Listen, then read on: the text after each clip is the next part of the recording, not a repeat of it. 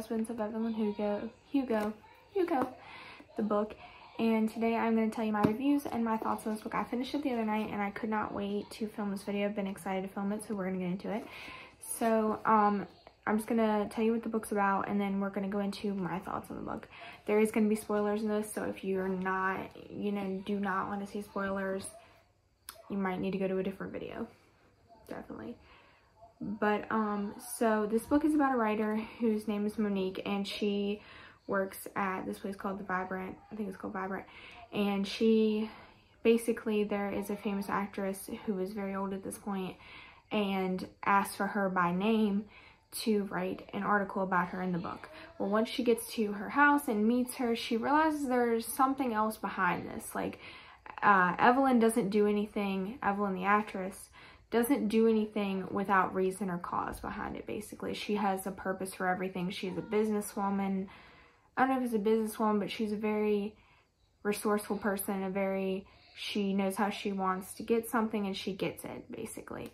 She does whatever she has to do. So when she gets there, she starts interviewing her and then Evelyn tells her that she is not going to do an article for the mag for the thing the place that she works for but she wants Monique to write a biography on her life, but only publish it after she is dead. And Monique is like, what? And then she agrees to it, but she ends up telling her about her, basically her seven marriages and why she wants her to write this.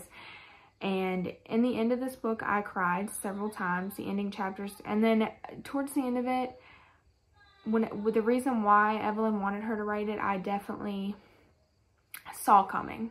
I definitely saw coming. Like I had a, when I read that part of the book, I was definitely like, yeah, that's probably what, why.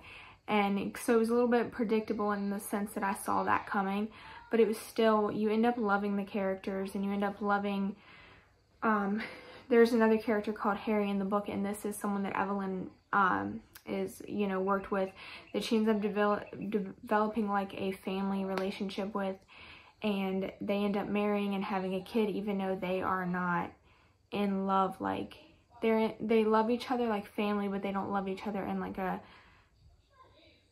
you know relationship wise.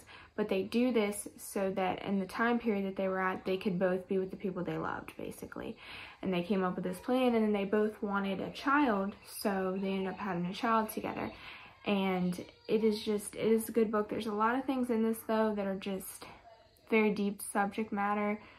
Um, I do feel like the character Celia, which is her girlfriend, um, was kind of frustrating at times because she, I guess she was so young and she was jealous and it was just like, I just want you guys to be together. Like, why do you have to separate at any point in time of the story? And like, it just, your heart broke for Evelyn because a lot of it was you just didn't understand why it had to be that way. But it was a, a, lot like real life. Like in real life, things aren't black and white most of the time. There's normally a gray area. And that's what I felt about this book. But I give this book four stars. Um, I did really like this book. Towards the end of it, I fell in love with the characters. It made me cry. I loved it. Um, I also, I give it four stars because honestly, I had a hard time getting into it. In the beginning of it was a slow read for me, but I thank you guys for watching this um, book thoughts video. If you want to see more, let me know, and I will film another one. Um, but thank you guys for watching. Bye.